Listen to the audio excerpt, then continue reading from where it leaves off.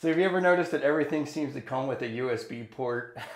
Even your nose trimmers or any type of thing that you get, especially your iPhone, which is really important, always has a USB port. And GFI outlets do not have any way to really make that convenient for you. So I'm gonna show you how to switch that out and install an outlet with a USB port, but also make sure it's safe for your bathroom. So first thing I need to do use my little Klein tool here, find out which breaker this is, go downstairs and find the breaker.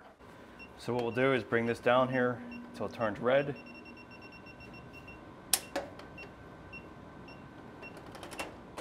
Okay, so we got that turned off. Okay, so we got the power off. Let's go ahead and switch, take our GFI out.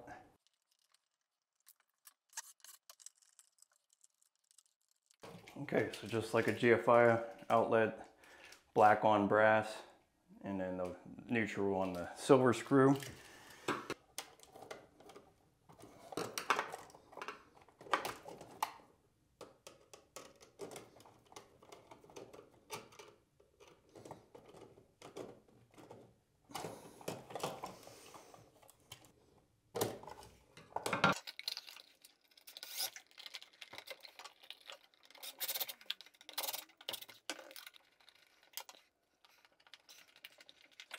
Okay, so how we're gonna make this safe is using one of these breakers.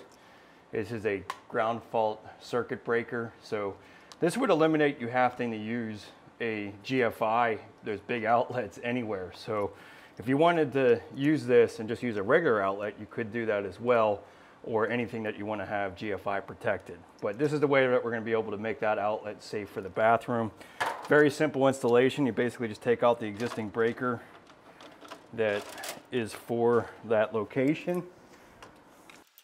So there's two setting, there's two wires here. One is gonna be your neutral and one's gonna be your power. So we're gonna connect our power first here since I already have it disconnected.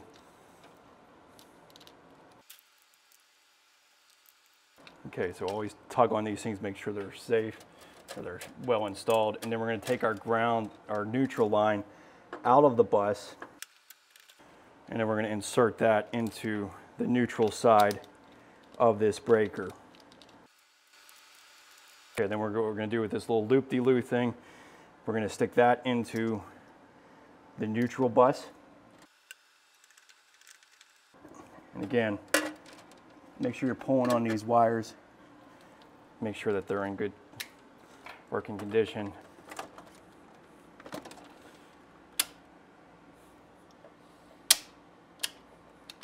Okay, so this is a little test button. You just test to make sure it works, but then should be in good shape here. Okay, so now we can charge our iPhone while brushing our teeth. so, but really all these items are coming now with just USB ports. It's definitely something to think about when you're renovating your bathroom is to get an outlet with some USB ports.